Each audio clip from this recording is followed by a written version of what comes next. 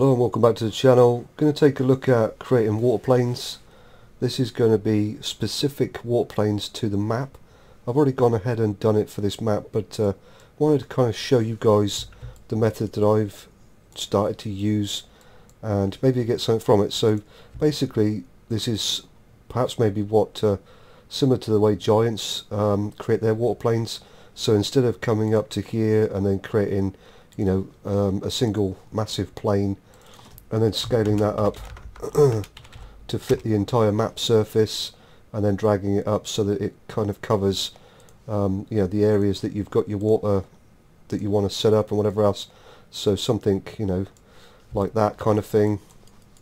And that that kind of works to a degree and then you can you know change your settings here. So we go maybe 82 something like that. And then I've got a water plane that's covering the map. Maybe that's a bit too high but you get the idea this is kind of the way I've done it in the past myself and I've seen several maps um, that you know work in the same fashion. Or alternatively um, I've seen where instead of one massive great plane like this there's several smaller planes um, that are all kind of joined together to try and make up um, you know the area that you actually want the water plane to be. And then when where the water plane kind of joins together the two different so you kind of have something like this you'll have like uh, multiple planes like this for example and then they'll be scaled up to fit. So uh, if we kind of scale this up a little bit and bring it up just to kind of show you you know what I've seen many many times. So we'll have something like that which will be rotated maybe like that and then kind of drop down to fit the area.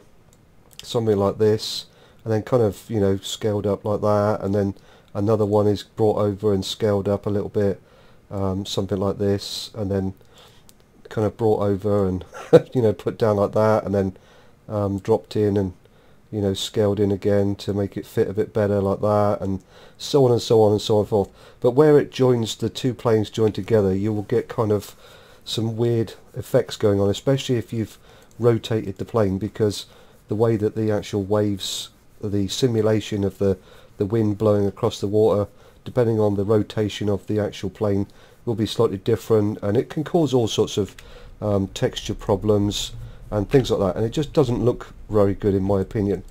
So what I've kind of played around with in Blender is a method that might work uh, to actually maybe create a plane that's going to fit exactly where you want it to fit and it will be all rotated and scaled and whatever else correctly to fit exactly where you want it and no further you know anywhere else on the map.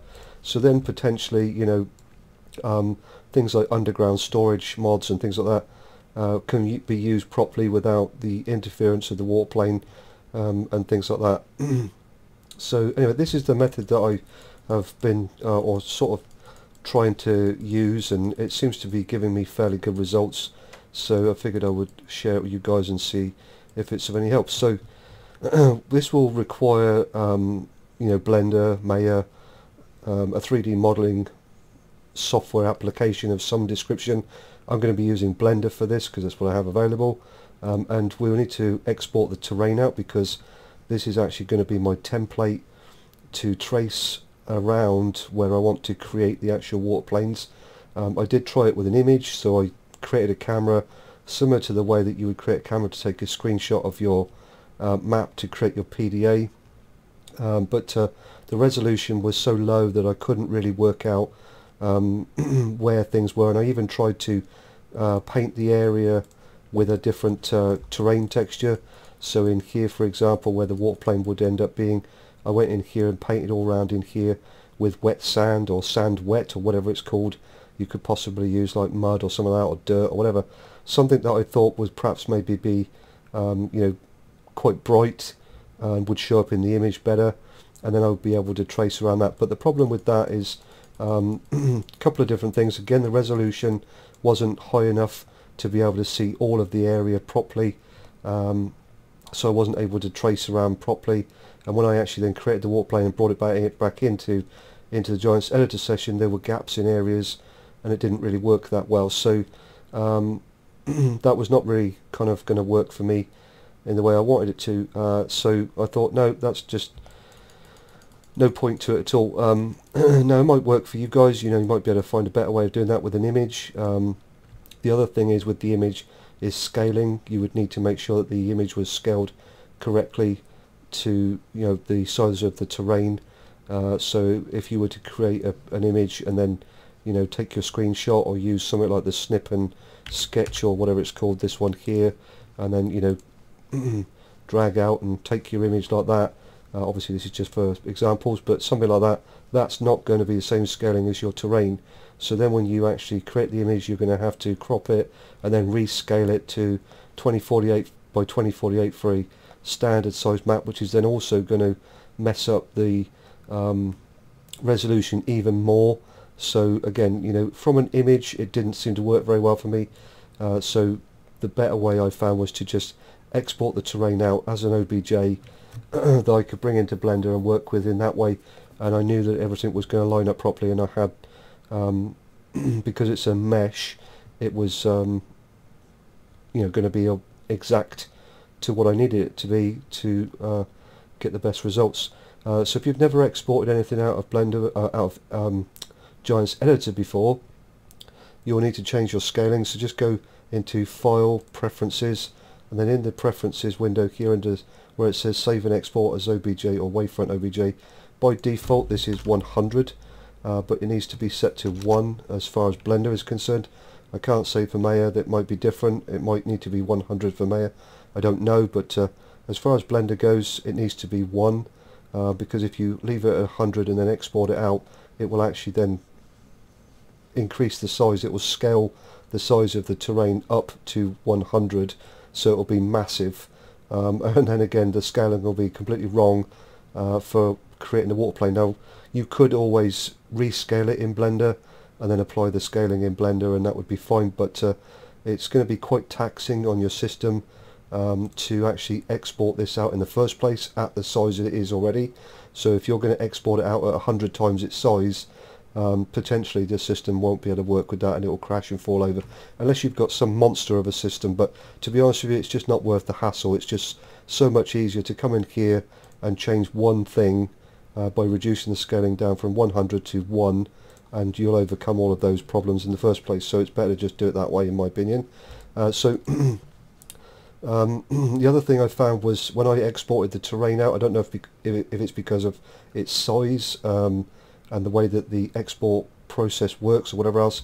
But if I had the camera zoomed in like um, over to here because when I was first doing this I thought right I'm going to create a water plane for this area here. So I had them the, the camera looking specifically at this area. And then when I exported the terrain out half the actual terrain was missing when I imported it into Blender. It had gaps. Um, it didn't export the whole thing out. Now that potentially might not be a big thing because um, if you're working with maybe a 4x 16x whatever else that might be a good thing because you could zoom into an area specific to where you wanted the water plane to be something like this and then click export. And then um, even if it didn't export the rest of the map out it wouldn't be a big deal because as long as you've got the area that you want to create the water plane for when you bring it into Blender that will be fine. And then just move the camera to another place where you want to create your second water plane or whatever somewhere over here like on this particular map and then export out again and it wouldn't matter if this part of the map wasn't brought out as long as you've got the area that you want to create the water plane for. But uh, in this particular case on a 2x I would like to have the whole thing come out because I'm going to be potentially making all of my water planes in one go. Uh, so for a 2x that works okay. And uh, I've got a fairly older system now so um, you know it is what it is. But uh, the 2x exported out okay it takes a little bit of time but it's not too bad to be honest with you so that's fine um, and like I said I want to do all of the water planes in one hit so I want the whole map to be brought out that I can then just work with it as I need to. so um, to get it out of Blender we just basically click on the terrain here in the scene graph, file, export selection, find where you want to put it, I'm going to put it on my desktop. You can call it whatever you want, it's not relevant the name of it because it's just going to be used as a template within Blender. So you just call it one or call it terrain, call it whatever you want. And then make sure you choose your save as type as a wavefront OBJ from the drop down and then just click save. and it will say down the bottom here exporting um, and like I said it will take a little bit of time um, again depending on your system performance or whatever else if you've got some monster system uh, then you you know um, it might just be seconds but uh, um, I don't know. Like I say my system's a little bit older now so it takes as long as it takes. Just be a bit patient with it. Don't start clicking other places or whatever else because you'll cause the uh, the uh, editor to crash and you just have to start the whole process all over again. Just wait for it to finish. It doesn't take that long. Go and grab a drink or whatever else you know um, and then when you come back hopefully it'll be finished. Uh, so yeah just like I say just wait for it to do its thing and then you should be good to go. Um, like I said I'm using Blender 2.82 or if I haven't said already I am going to be using Blender 2.82 so if you're using an older version 2.79 or previous uh, why? Because 2.8 is just far superior in my opinion. Uh, but if you're comfortable with 2.79 then you know stick with it. There's nothing wrong with that. Um, but uh, I would recommend to get if you can upgrade to 2.8 and upwards because it's just got so many bug fixes um, and uh, it's just an improvement overall in my opinion. Uh, but uh, you know work with what you've got. But my point being that uh, if you are using 2.79 um, then things are going to look very different when I get into Blender. So you'll kind of have to work around uh, the different shortcut keys that I'm going to be using and the menus won't be in the same places and things like that. So you'll just have to kind of work around that. But uh, it is what it is. So that's now exported out so we'll minimize this one down and I'm going to open up Blender. So as I say I'm using 2.82a as it will say when it eventually starts up. And I've, this is the first time I've opened um, everything up today uh, my, on my system so it's going to be a bit slower to start with. Version 2.82a as you can see there. Um, so when you get into Blender A to select everything then X and delete. We want to get rid of everything default. We don't want any of that stuff. We'll get rid of that menu with the T key on the keyboard. I'm just going to go file import wavefront OBJ go to wherever you saved your terrain out as the OBJ file. Double click on that and it will then import it in. And again like I say just be a bit patient and uh, wait for it to uh, finish importing into Blender but uh, again it shouldn't take too long and then we can continue on creating our waterplane. Uh, so I'm going to be using a, um, like I say, a method that uh, I have used for something else, and I thought I wonder if this will work for creating waterplanes. I gave it a go, and it seemed to do quite well. It gave me some pretty good results. So, um, yeah, figured I would just say hit record, show you guys, see if you uh, see if it's something that you can use yourselves on your maps or whatever else. Okay, so we're done. I'm just going to close this other window down here because I don't need that. So if you're not familiar with Blender, you can do this with, I think, in 2.79 as well. Just highlight over the, because this is my um, timeline. I don't want that in the way.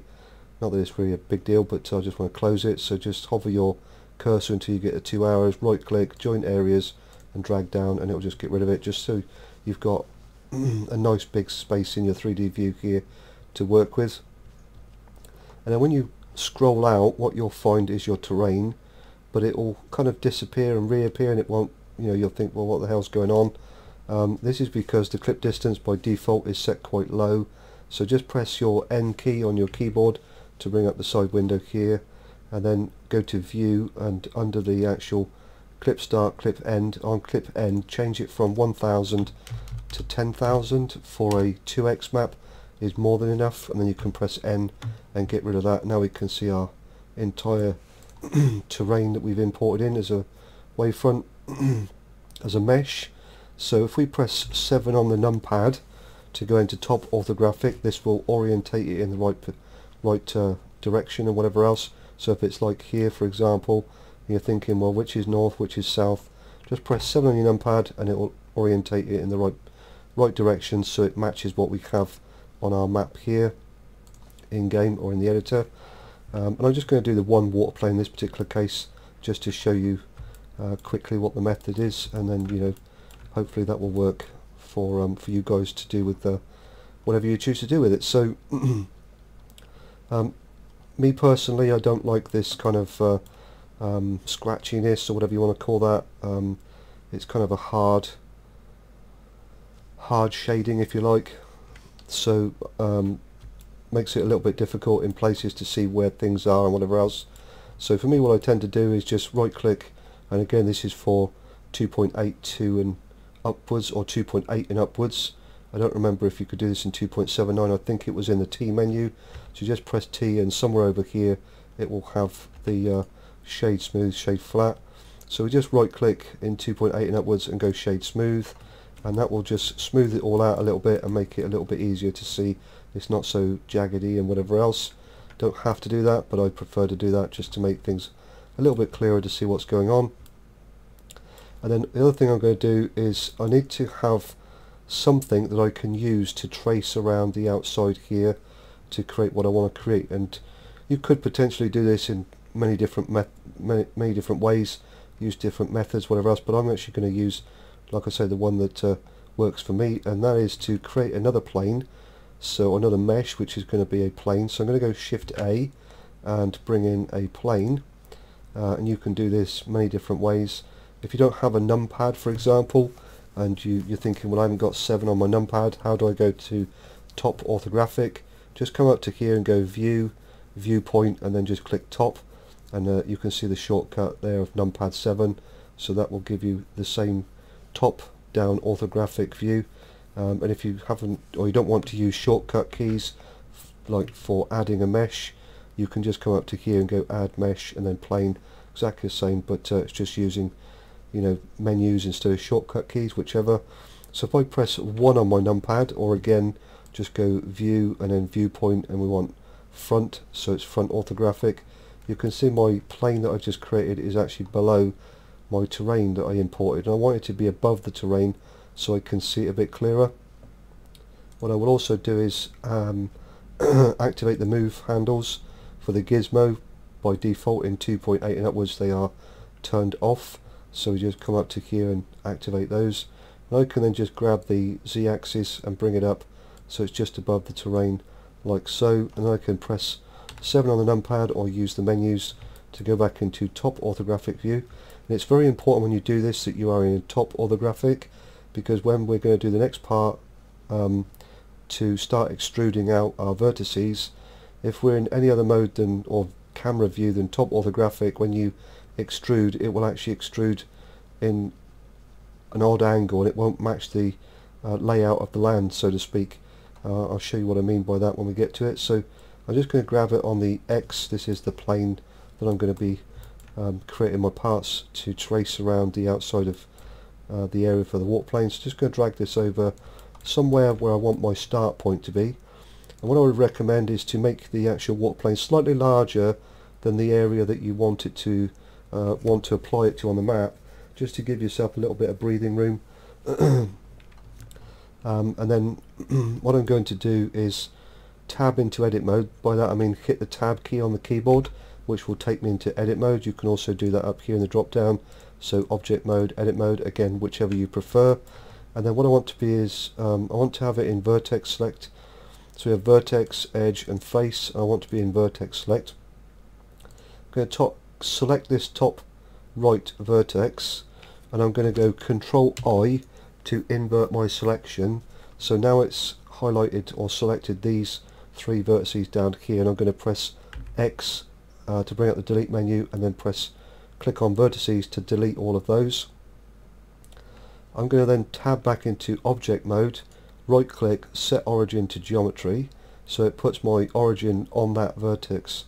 Um, again not necessary to do that but I prefer to do that so regardless of whether I'm in edit mode or in object mode it's the cursor is in the right place for me anyway because um, it can start to get a bit confusing if the origin point is all the way over here somewhere and it gets a bit confusing on what mode you're in and things like that. Anyway, it does for me. So, you know, you can do that. You don't have to, but uh, I prefer to do that. And then in edit mode, again, make sure you're in top orthographic in vertex select. We're just going to make sure that we've got our vertex or, yeah, vertex because it's singular, I guess. Make sure we've got that selected. And we're going to press E to extrude and just drag out with our mouse and then click to create our first edge. And then we're going to press E to extrude out again and E to extrude out again. So I'm just pressing E dragging out with the mouse and then left clicking on the mouse button to complete the action. So just keep coming like this and then just keep moving your camera around. Now I've remapped some of my keys so they won't match what you've got and I don't know I don't think um, I don't know if let's just have a quick look here and see. I don't know if um,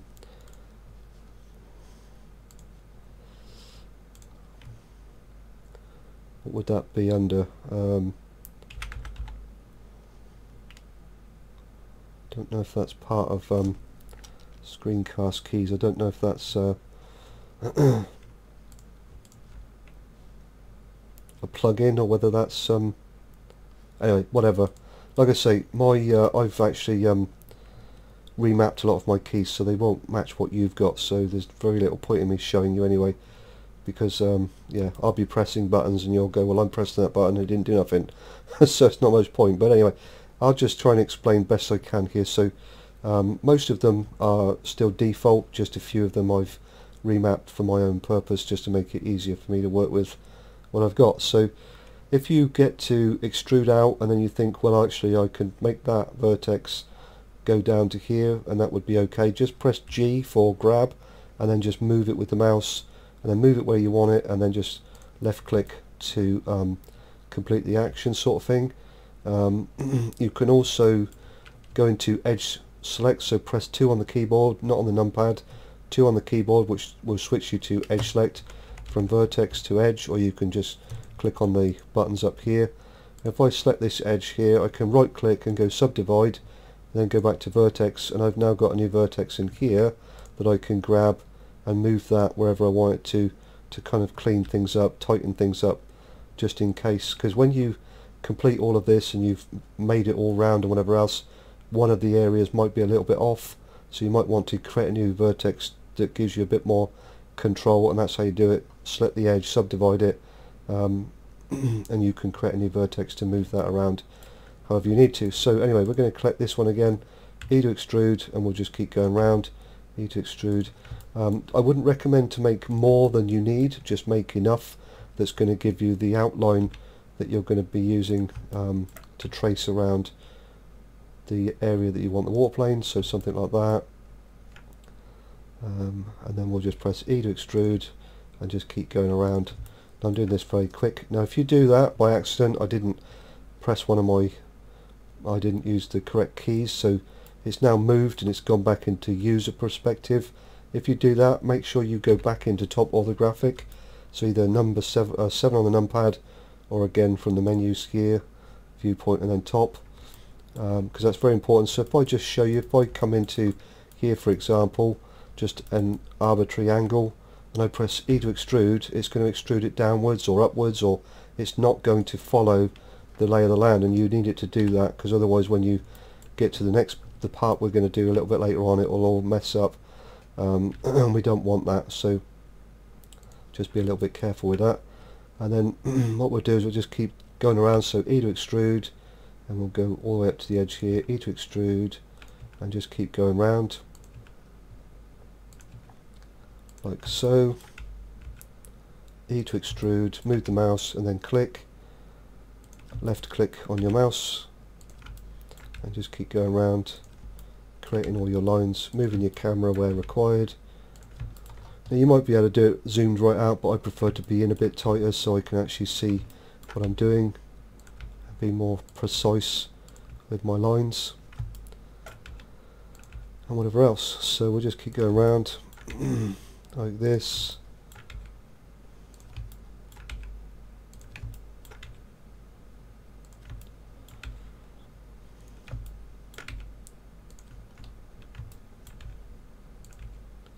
I guess I'm just going to do this a bit quick so we'll just go all the way up to there.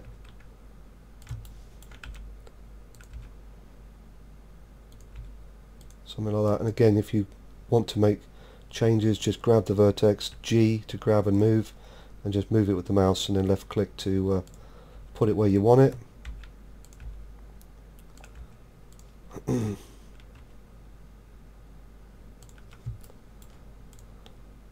E to extrude and just keep coming around.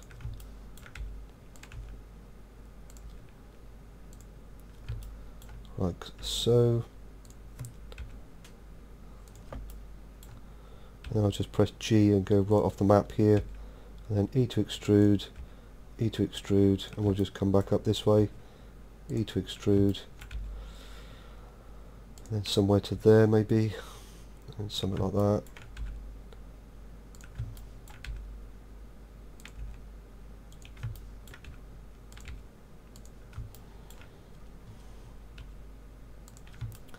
You can always go back and if you get one like that just press X and delete verts um, and it will then just basically do that and you can just select this one, left shift that one um, and it should join unable to connect. Okay let's go back a little bit and then what I'll do is I'll press X and dissolve verts, there we go, not delete, dissolve. so E to extrude, E to extrude and then just keep coming around like so and then we'll just grab this one and move it in a bit tighter. Something like that will do.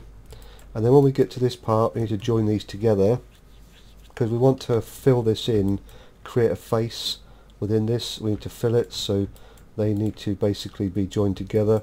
Now what you can do here is a um, couple different things. I use the snapping function so from the drop down change it from increment to vertex and then we can E to extrude and then hold down the left control and that will snap, turn on the snap function. We can hover over the vertex there, left click and that one is now on top of the other one but it's actually not joined at the moment so there's a couple of different things.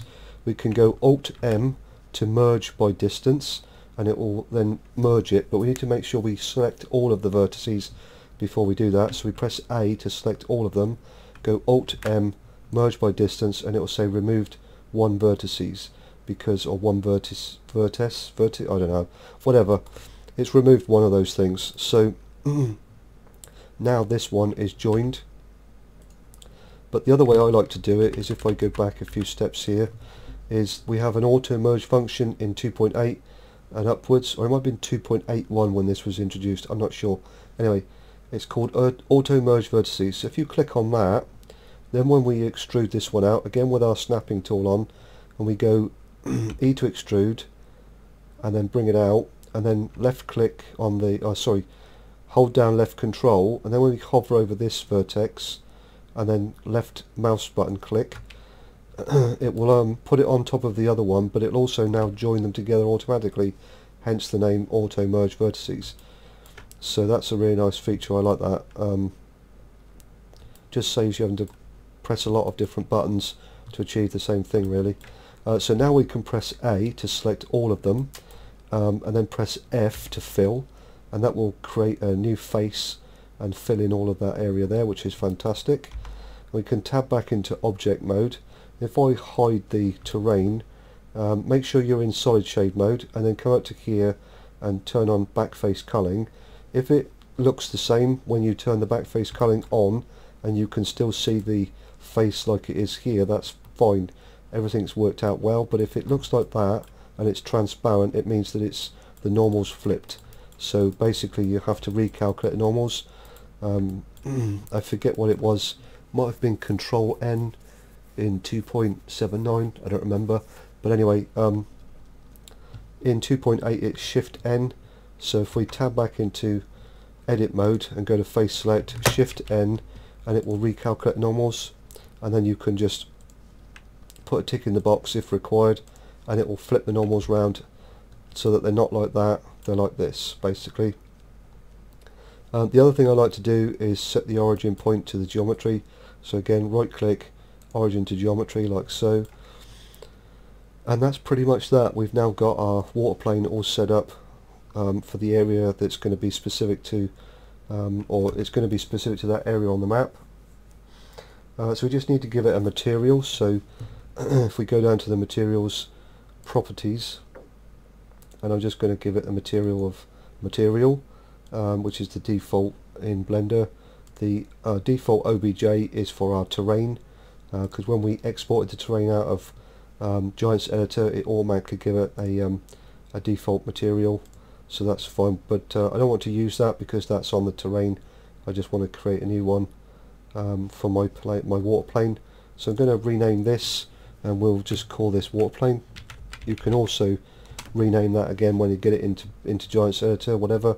And I'm just going to rename the material so we just double click in there and I'm just going to call this water underscore matte um, and then we can export this out. So um, if I press F2 to get the name and just press control C to copy the name there hit enter file export Giants i3D and what I'll do is I'll go into the map which I'm going to put it into.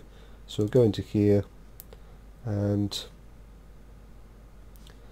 we'll paste in the name press enter and we want to make sure we tick, tick the box where it says export selected because I don't want to export out my terrain again. I just want to export the water plane.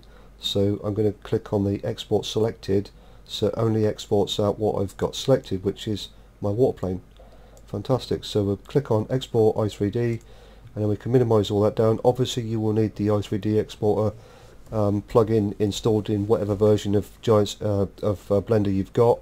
Um, so you need to get hold of that and do that. I'm not going to do that show you how to do that in the video.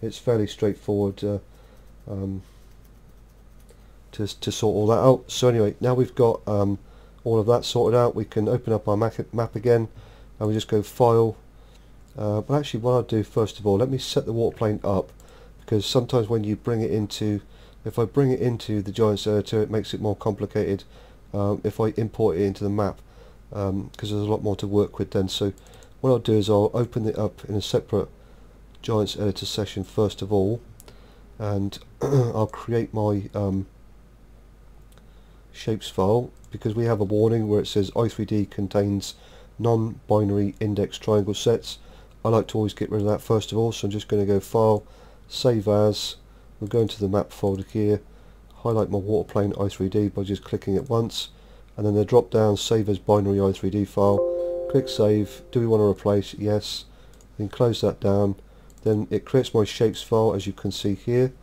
Um, Maya I believe does this for you already uh, but uh, Blender does not or the i3d exporter for Blender does not so that's the only way we can do that if you're using Blender that I know of. So we'll reopen it again and we'll apply our materials so we can see our textures I should say. So now we've got no errors we can click on our water in the scene graph. F to focus will bring us over to it. And we don't want to change any of the attributes here because that is those attributes are specific to the area of the map that it's going to be assigned to. So we need to apply our texture for the smoothness and metalness I would recommend to put those to zero. And then under the normal map here we want to add our texture. So we're going to click on the browse buttons here and then go into your farm sim installation folder wherever that might be. Um, maps textures. Uh, you can do this in a, the American one or the European one doesn't matter. Um, I prefer to do it in the European one. But uh, I believe the texture is in both uh, water normal that's the one we're going to be using. So I could use it in this one now that I'm in here but just to show you water normal under the American if you go into um, the other one here so if I go back into here and then maps textures European just scroll all the way to the bottom and it's right here which is why I tend to use the European one because it's really easy to find because it's right down the bottom there one of the last few textures. So water underscore normal and we click open and that will then give us this. And then we need to add a shader. Uh, oh just so you don't just in case you don't know uh, material editing window you just go window in the file the thing at the top here the menu just go window and then material editing and this will open up wherever that might be. And then you can add in your texture and then just under the custom shader open up the properties window here replace or add new shader. Again go into your farm sim, sim 19 installation folder data shaders and then we want ocean shader. So we'll click on that. It will do this and it will go all black and you'll think oh dear I've broken it. And then what a lot of people do including me until I was told the right way of doing this is click on simple for the variation. And if we zoom in it does kind of then give it the look of a waterplane it's got all the waviness going on the wind like coming across and doing all its stuff but um, because it's a simple variation it's not giving us all of the correct parameters. We've got no refra refraction or reflection information. Um, we've got no transparency uh, to the water plane or anything like that. So it just doesn't look as good as it could do. So I would recommend to leave the variation on none and then go ahead and save it. Then we can close that down. and then what I would, what I've was shown is if we open up the i3D in a text editor, I'm going to use Notepad++. And what I would do is also open up the um, one of the map base maps. I'll open up the i3D. So again, back into your FarmSim installation folder here. MapDE or MapUS doesn't matter, but I'm just going to use MapDE. If I right click on that and again open up in my uh, or any whatever text editor you, you prefer, again I'm using Notepad++. I'm just going to go Control F. I've already done this a few times, but uh, so it'll probably be in my drop down. There we go. Search for one water underscore mat, which is the name of the material on the base maps for the water planes and just click find next and it will bring you down to the appropriate place you can see here we've got this reflection and refraction information but in my water plane we haven't got that because it doesn't automatically create it for whatever reason. There's probably something in uh, Maya that does this but uh, again for the blender exporter and whatever else it doesn't do this. So we have to add these lines in manually which is fine there's no big deal easy to do. So just highlight both of those lines there the reflection and refraction information control C to copy it come back over to your water plane that you just created. Under the normal map file ID click return to make a new line and then just paste the information in. Now we've got all of our information where it needs to be fantastic. And we can click save on that close all of that down. Um, and then when I go back into the water plane again so if I go back into here and open this one up we'll now see that it looks very different. So if I highlight it in the scene graph F to focus and it looks all see-through and you think now I've really broken it. Well actually you've not because it requires some sort of background um, for the lighting to actually go through the water plane and then uh, refract and reflect and give us all the correct shadows and things like that. So when you actually get it into the map it will look a lot better um, which I'll show you once we actually get it into the map. But first of all I want to add in some user attributes to make this an actual water plane. So again for this we can go back into um, Notepad++ and we can open up our base game i3D again. If I go control F to bring up the search window and just do on create and go find next somewhere down here usually somewhere at the top it will have um, the information for the water. So you can just copy the information out of here. Uh, determine whether your water plane you're creating if you're creating multiple water planes is the main water plane. Um, obviously if you've only got one then it would generally be defaulted to the main water plane anyway. But if you've got multiple water planes across the map figure out which one you want to set as the the main one um, and then you need to add that um, extra user attribute just for that one water plane. So we're going to take the name from here and just copy it. Go back into my water plane here.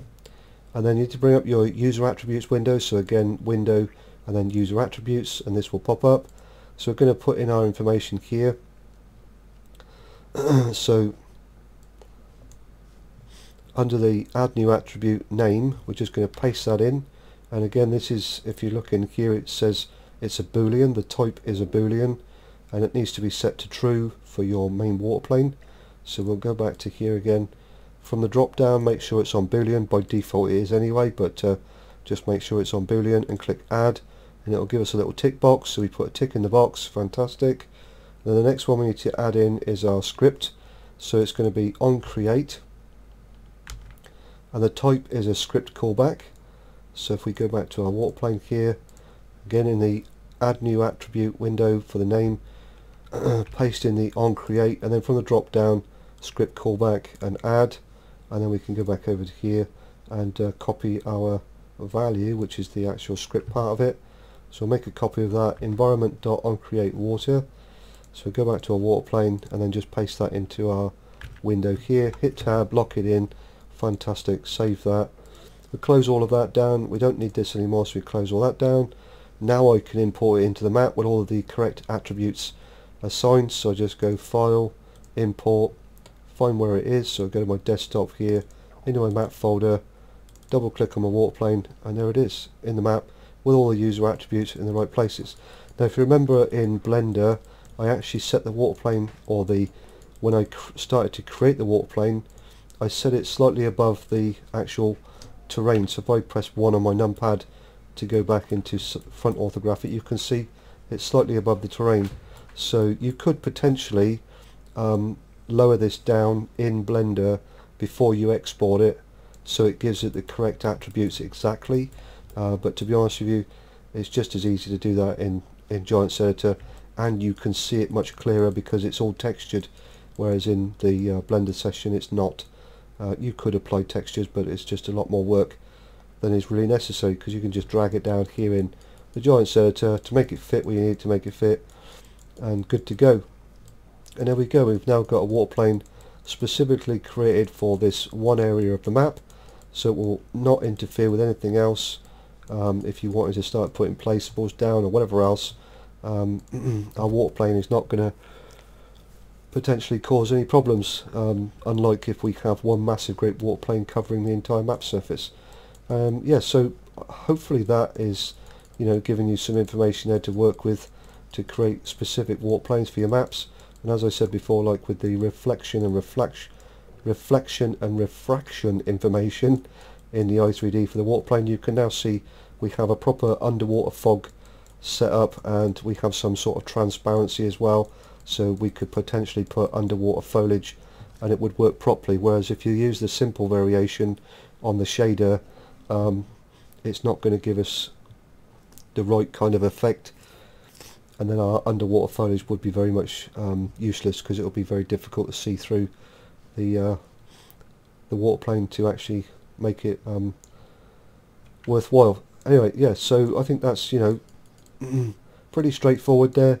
Uh, like I say, a method I started to use for something else and thought, you know, I wonder if this would work for water planes. And as I say, it's kind of given me some fairly good results. You know, it's not doesn't take that long to do really.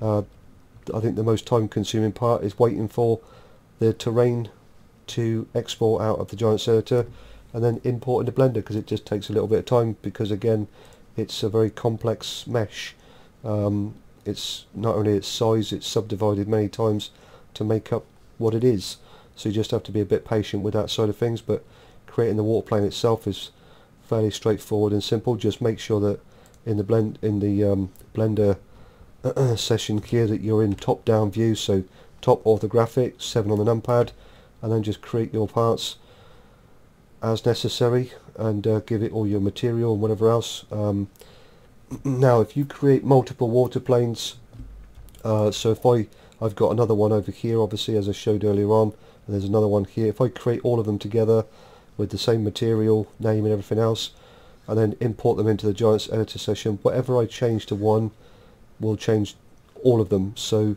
if I for example I've got some over here that I want to put in somewhere over here just here I believe.